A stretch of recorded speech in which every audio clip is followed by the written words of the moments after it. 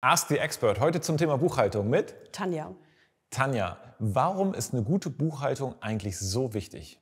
Weil du als Selbstständiger eine gute Basis brauchst. Dein Business braucht Stützpfeiler. Und was nimmst du denn eigentlich bei den Kundinnen und Kunden wahr, wie die Buchhaltung verstehen? Für die meisten ist es eine absolute Hölle. Und warum glaubst du, ist das so?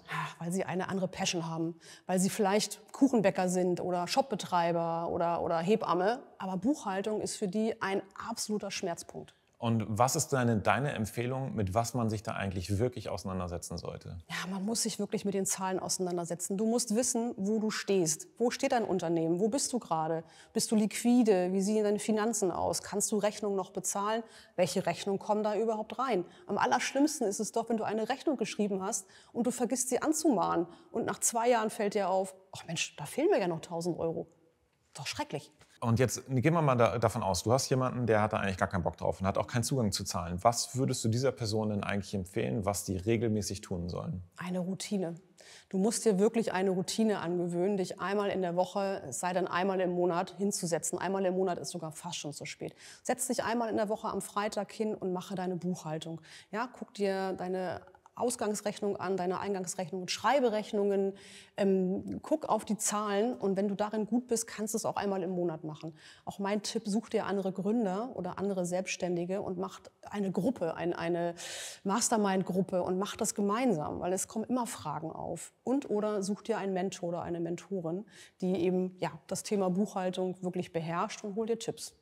Und das heißt also, wenn man sich jetzt als Gruppe zusammensetzt, dass man dann gemeinsam seine Einnahmen, Überschussrechnung oder wenn man ein bisschen größer ist, seine BWA auch tatsächlich einmal gemeinsam durchgeht? Unbedingt. Ich finde, man sollte wirklich auch verstehen, was auf einer BWA steht. Nicht einfach abheften und nicht verstehen, weil das ist ja, das ist dein Business. Wenn das nicht läuft, dann kannst du auch gar nicht weitermachen. Meine Wahrnehmung ist, dass es super vielen Leuten immer noch schwerfällt, über seine eigenen Zahlen zu, zu sprechen. Berechtigt oder unberechtigt? Ist berechtigt, aber ich finde es unberechtigt. Also mach's doch einfach. Du musst ja nicht dein ganzes Betriebsergebnis offenlegen. Wenn du dich aber mit einer Gruppe von Menschen zusammenschließt und ja einfach nur Tipps austauscht, äh, wie buchst du denn das oder wie mache ich denn das, ist doch gar kein Problem. Du hilfst ja ganz vielen Selbstständigen genau dabei. Ähm, wie gehst du denn an so einen Prozess eigentlich wirklich ran? Wie nimmst du die Menschen an die Hand, dass sie da hinkommen, ihre Zahlen zu verstehen? Also wir gehen erstmal ganz normal durch so ein Programm durch. Es gibt da diverse Anbieter von, von Buchhaltungsprogrammen und die sind heutzutage auch sehr selbsterklärend. Und wir machen also am allergrößten, die größte Hürde ist eigentlich immer das Einrichten so eines Programmes. Klar, da gibt es ganz viele Sachen, die man einstellen muss. Ist man nun im SKR 03 oder im SKR 04? Das sind alles so, so Dinge, die ich kann das auch total verstehen, dass die so triggern, dass man die gar nicht mehr googeln mag. Weil dann kommt man von, vom Höschen zum Töpfchen oder wie man das so schön sagt. Es ist einfach viel zu viel Information. Insofern nehme ich meine Kunden an die Hand und wir gehen da einmal ganz gemeinsam in Ruhe durch und wir besprechen alle einzelnen Schritte. Cool. Und dann, was bekommt man dann? Dann hat man eine richtig gut laufende Buchhaltungssoftware, wo man, wenn man richtig gut dann auch eingearbeitet ist, sich einfach einloggt und seine Buchhaltung selber macht.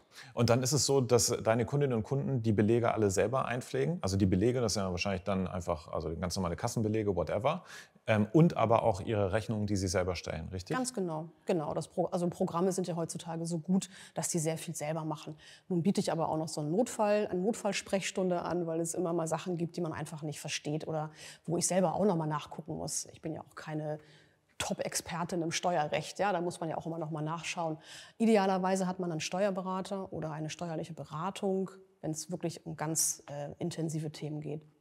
Cool. Und das ist aber deiner Meinung nach auch wirklich der Grundstein dafür, damit ich eigentlich das Business richtig weiterentwickeln kann, richtig? Ohne eine gute Buchhaltung läuft dein Business nicht.